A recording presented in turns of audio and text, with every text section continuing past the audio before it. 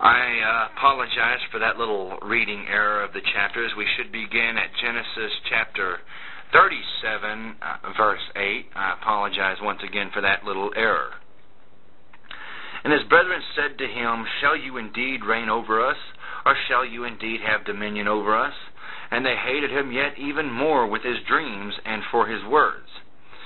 Notes, the hatred that Joseph's brethren exhibited toward him represents the Jews in Christ's day.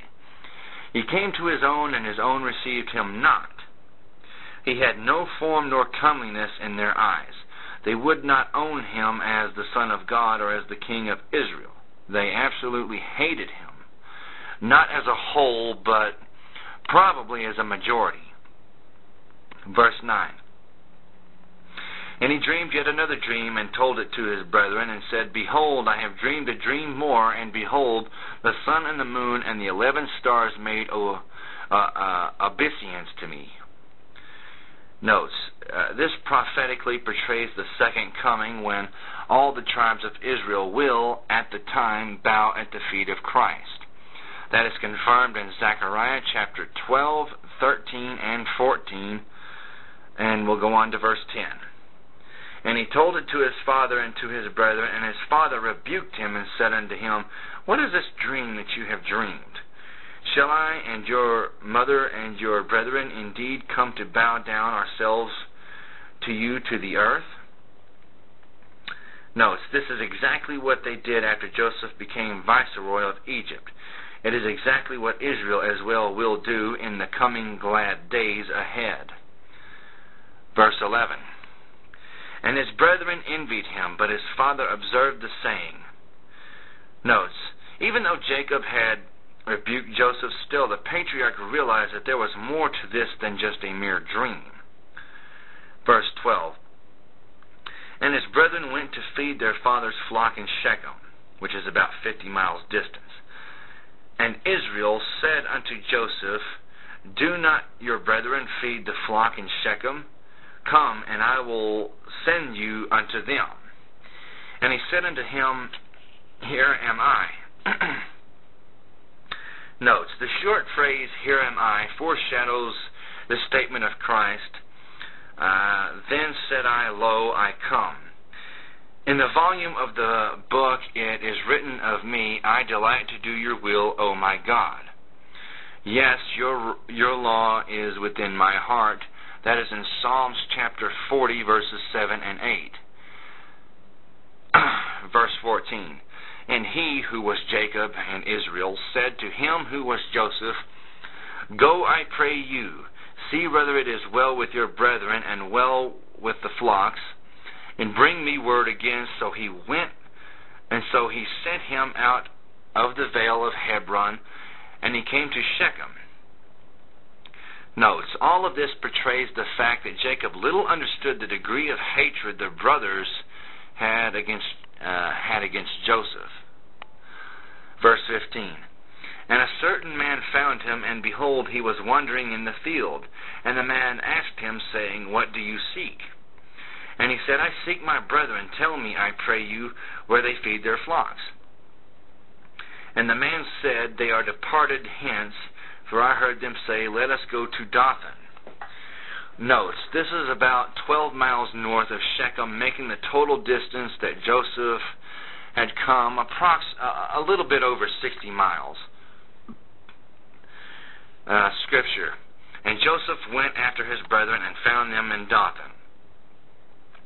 And when they saw him afar off, even before he came near unto them, they conspired against him to kill him notes, It was thus with Christ as well. When he was born, Herod sought to kill him immediately, right out of the chute in Matthew chapter 2. The scripture, and or actually verse 19. And they said one to another, Behold, this dreamer comes. Notes, little did they realize that these dreams would come to pass exactly as recorded in the portrayal. Verse 20. Come now, therefore, and let us kill him, and cast him into the pit. And we will say, Some evil beast has devoured him, and we shall see what will become of his dreams. Notes We see here the ruling nature of sin, right here. Verse 21. And Reuben heard it, and he delivered him out of their hands, and said, Let us not kill him. Notes, Reuben was the firstborn. This meant that when Jacob died, he would receive a double portion of the inheritance. However, the birthright had been given to Joseph. So Reuben would have had more to gain from Joseph's death than anyone, but he seemed to have a heart that wasn't totally hardened. Verse 22 And Reuben said unto them, Shed no blood, but cast him into this pit that it is in the wilderness, and lay no hand upon him, that that he might rid him out of their hands to deliver him to his father again. Notes he thought later to come back and rescue Joseph, as evidently he had to go somewhere, but he would come back too late.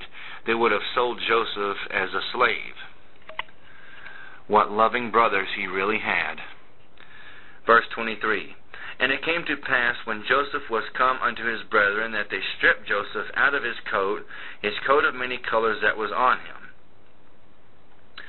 Notes The flesh hates the spirit, the latter of which the coat was a type. However, when they took the coat, they did not take the anointing, for the coat was only a symbol of such.